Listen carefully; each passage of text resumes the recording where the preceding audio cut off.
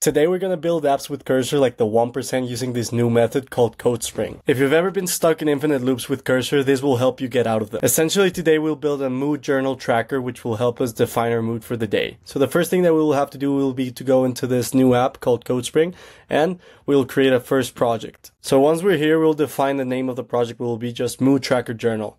Then we'll have to describe our project idea. So we want to create a mood tracker journal that allows us to track our mood for the day with emojis and add side notes to understand what is going well in our life. After identifying our project idea, we will want to identify the key features. In this case, we want to take a quiz about our mood, determine with an emoji our overall mood after, add side notes after the quiz to understand what is going well, and have it be in a shareable format. So, CodeSpring is great because it plans your entire app, it defines the build strategy and it fills any holes that you would create if you were just talking to ChatGPT. This way we will avoid infinite loops within Cursor, having everything already handled for us. Now as you can see, it created an entire mind map for us, which shows us our features, the target audience, the competitors, and even the tech stack that we need. Great, so now that it's generated the product required document, we will just download it and go to Cursor. Now that we're within Cursor, what we'll want to do is we'll just drag the product required document that we just downloaded into the PRD section of the boilerplate. There we go. So now we'll just tell Cursor to build this app in this URL following the PRD that we just downloaded into Cursor. We'll press enter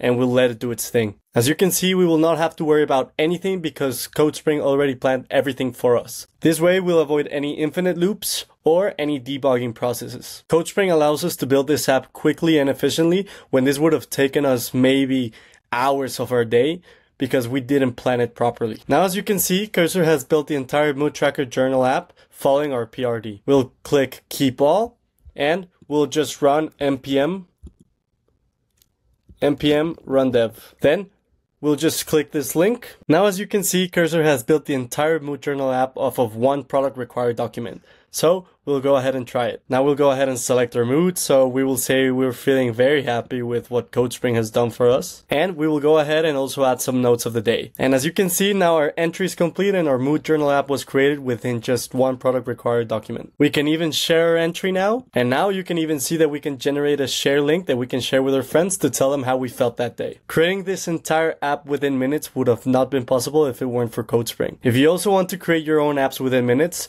go to the link down below and create a CodeSpring account.